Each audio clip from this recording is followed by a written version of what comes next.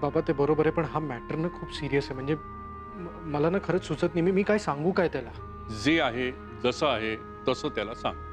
नाही म्हणजे अंजलीचा नकार की माझं आणि अंजलीचं असं?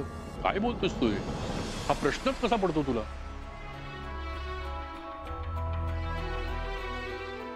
समजा मी सांगितलंच नाही तर आमच्याबद्दल. अंजलीवर प्रेम नाहीये तुझं? आहे बाबा. मग? मग का नाही जमणार? बा- बाबा तू तुम्हीच विचार करा ना म्हणजे. हे हे खूपच ऑड होत आहे मी चिंटूला कसं सांगू की माझं अंजलीवर प्रेम आहे? हे बघ जे आहे जसं आहे तसं सांग. बाबा वाद झाले तर? नाही वाद तर होणारच. पण कधी ना कधीतरी हे होणारच आहे ना. त्यामुळे असीम तू ठरवलंस ना तर मग जे आहे जसं आहे तसं तसं सांगून टाक. असीम प्रेम करणं खूप सोपं असतं रे. निभावणं कठीण असतं. आणि आत्ता असा ढिपाळलास पुढे काय करशील?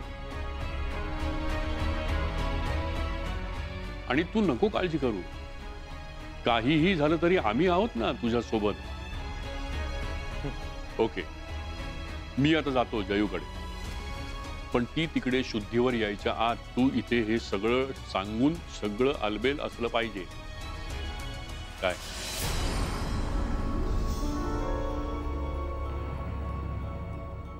आता ठरवलंयस ना तू सांगायचं. मग काहीही न लपवता सांगून टाक सगळं. डोंट वरी जस्ट सुद्धा घेईल समजावून.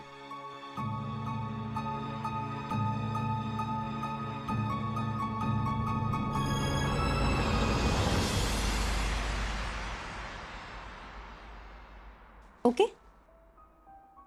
मला बोलायचंय. रोहिणी मॅमने एक्झॅक्टली काय सांगितलंय? म्हणजे बारा तासात कोणाला काय नक्की? हो, सांगते. इकडे नको. चल, चल, चल. सांग. हो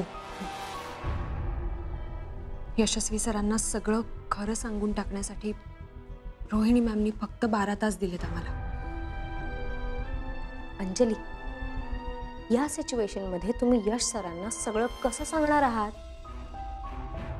एक तर ती अनएक्सपेक्टेड सर्जरी झाली आहे काकूंची त्यामुळे सगळी जण इतके टेन्शनमध्ये आहेत आणि त्यात आता यश सरांना सगळं सांगणार म्हणजे ही विल तुम्ही जरा तरी विचार केलाय का? अगं हो तेच तर म्हणणं आहे रोहिणी मॅमचं की ऑलरेडी सांगायला इतका उशीर झालाय. तर आता लवकरात लवकर सांगून टाका. असीम सरांचं काय म्हणणं आहे यावर? अगं काही ऑप्शनच नाही आहे आता. आता घरी गेलेत ते यशस्वी सरांशी बोलायला. अंजली आय जस्ट होप हे सगळं ठीक होईल